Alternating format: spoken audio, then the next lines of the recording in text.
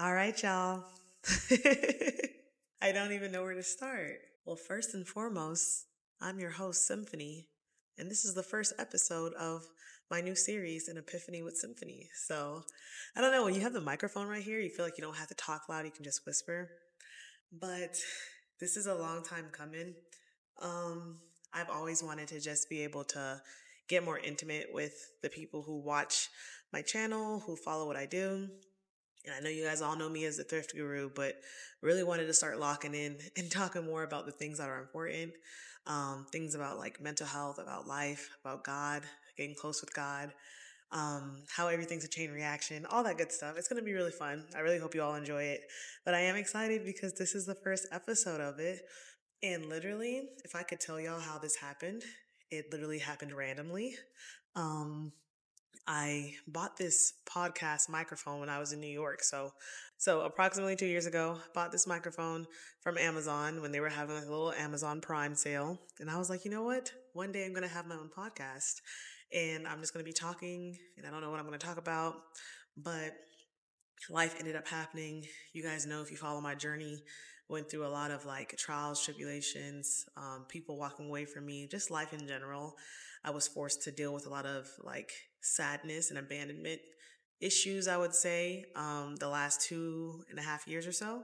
But hey, glory be to God, we made it out. I'm here right now. But I literally opened up the microphone just now and I was like, let's just do a tester episode. If it turns out great, cool. If it doesn't, you guys won't know. This this won't exist. This won't be on the internet. But um yeah, I want to just get straight into the topic. You guys know me. If anyone knows me, I am a lover girl to the core. So I thought, what better way to start off my first episode of an Epiphany with Symphony than by talking about love? So if you are a lover boy out there, a lover girl out there, you're going to want to tune in. I have no idea what I'm going to talk about. I have nothing written down. I have nothing planned. There's nothing on the screen behind this camera. I'm just going to talk and we're just going to flow and vibe. I wanted to talk about love because, like I said before, anyone who knows me, I love love. I love the idea of love. I love what love can do. I love how love brings people together. But sometimes when you love love so much, you end up just getting caught up in, in that idea alone and not what love actually is. So, very interesting. I um, met a friend. I didn't meet him in person, but we talk a lot at night and during the day. We just talk a lot. Um, he's he's really cool. He's really fascinating. But we end up having these really interesting conversations. And one of the conversations we had was was about love, and it was about um, I was saying love is complicated, and he was like, not really. You know, like if you're if you're someone who believes in God and believes in the Bible, like His words are there, clear and evident. Like love is patient, love is kind. You know, love is being described so much in the Bible, especially from Jesus. And he went on to tell me that love is an action word. And I think sometimes we get love mixed up with emotions. Something like just literally clicked in my head when he said that. And I was like, wow, you're right. Like love isn't complicated. Like it's the emotion part of it.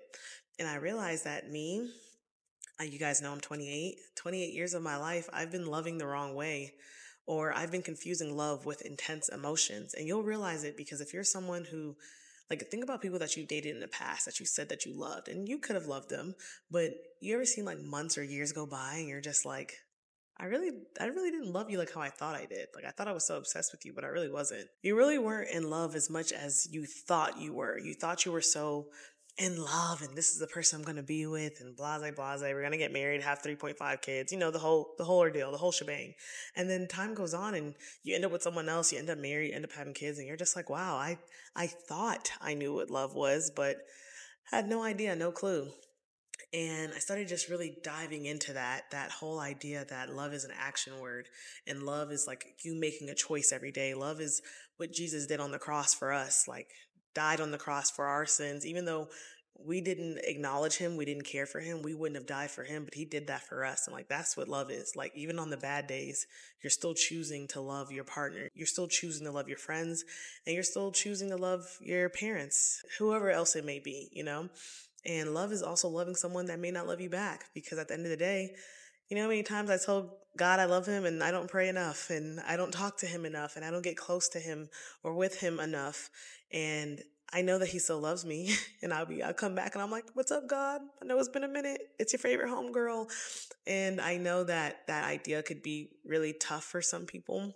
And I'm praying that God is just speaking through me as I talk to you all.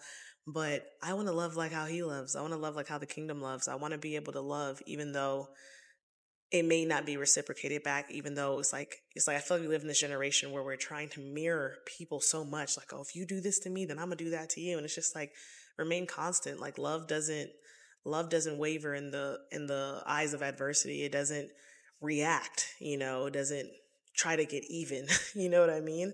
So since I was younger, I've grown up in a two parent household. You know, I know a lot of people aren't aren't able to experience that, but I was able to experience a two parent household, grew up with two parents that um, they loved one another. They showed us love a lot, me and my brothers.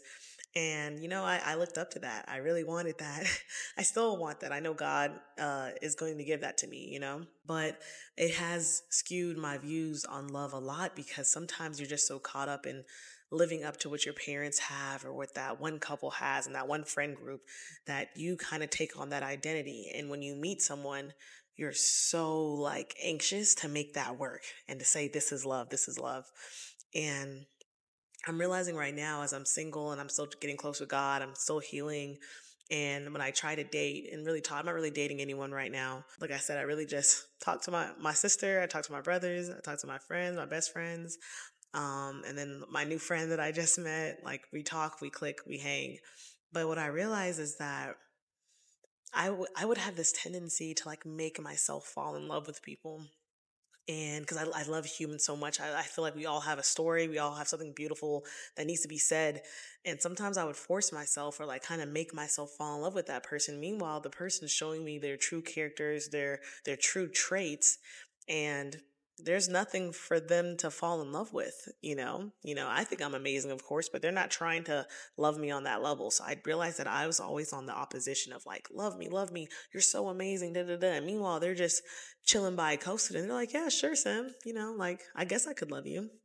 And I'm saying all of this to say, if you're out there and you want to find love, and you want to be in love and you want to be married and you want a healthy relationship, you have to seek the love one from God because God's always going to be there, and two, love from yourself. And I know it's so cliche, but y'all, it took me 28 years to crack crack the code. You know, like if you don't love yourself, if you don't talk to God and give your heart to God so God can give your heart to the person you're supposed to be with, you will always end up back in the same position, feeling like I'm being abandoned. No one gets me. No one understands me.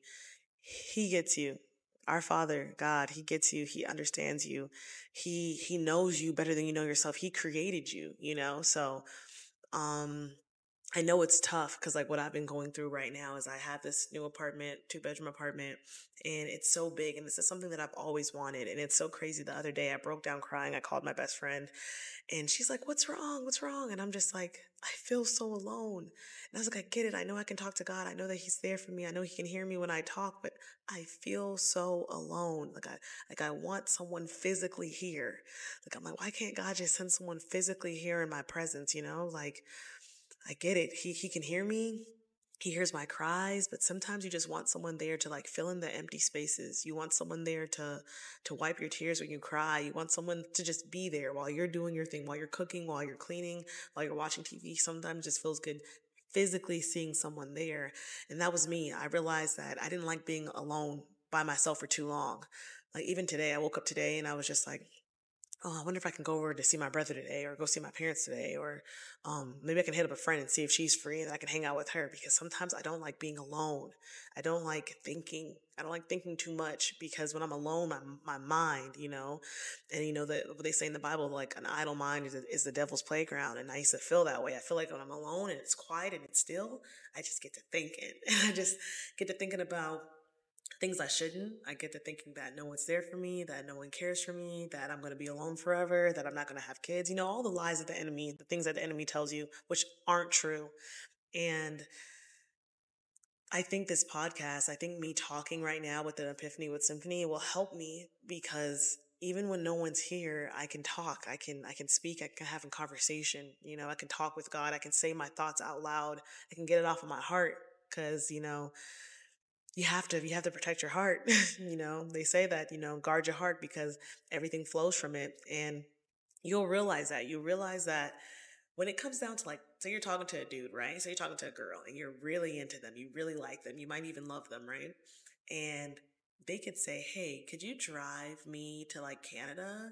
You know it's like a it's like an eight hour drive. You'd, you'd find every way in the world to do it because when you love someone you your decisions your mindset the actions that you do it all kind of stems from that so it's so powerful. And i had a friend um like two years ago his name is ludnick and i remember i used to be like these guys keep breaking my heart they keep breaking my heart and he would be like that's because you're you're giving your heart to them. You need to be giving your heart to God, and God will give your heart to the person you're supposed to be with. And that always clicked and stuck in my head.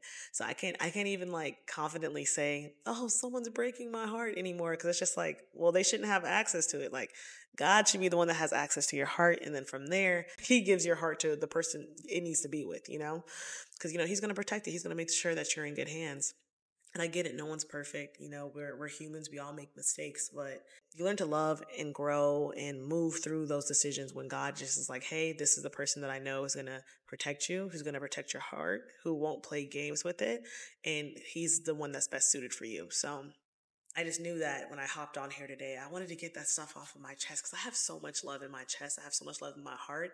I love so many things.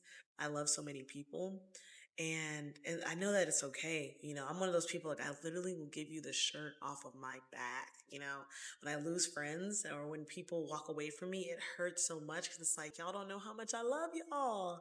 I don't know the things that I would do for y'all. You know, like I'm that person.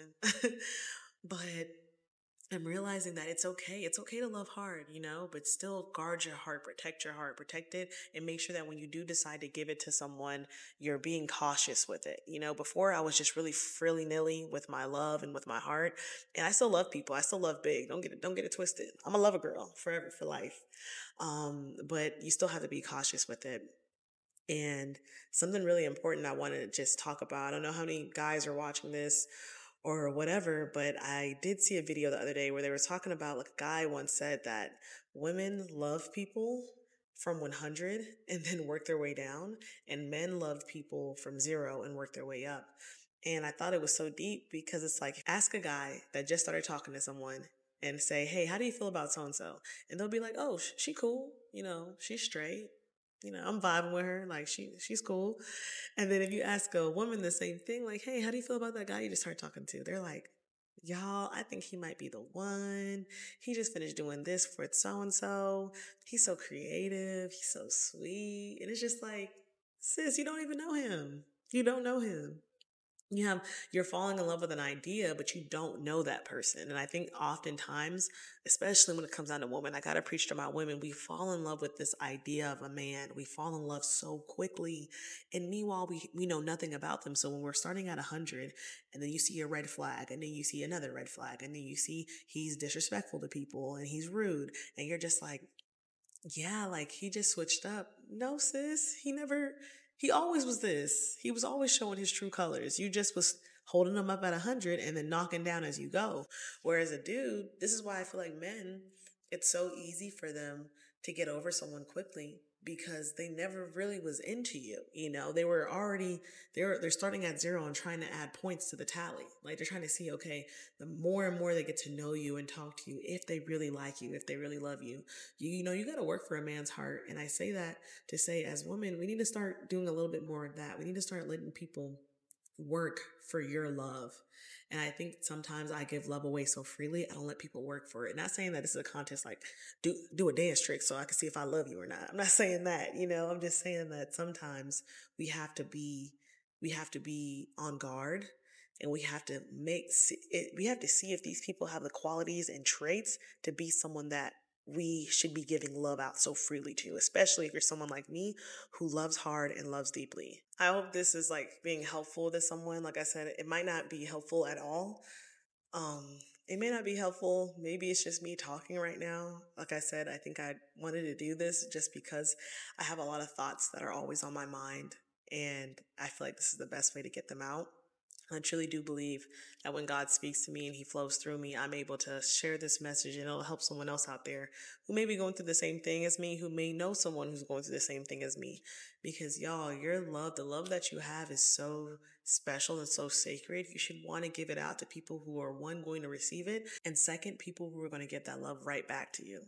You know, like you deserve that. You're you you deserve the love that you give out so freely to everyone else. I truly believe it. I truly believe that, y'all.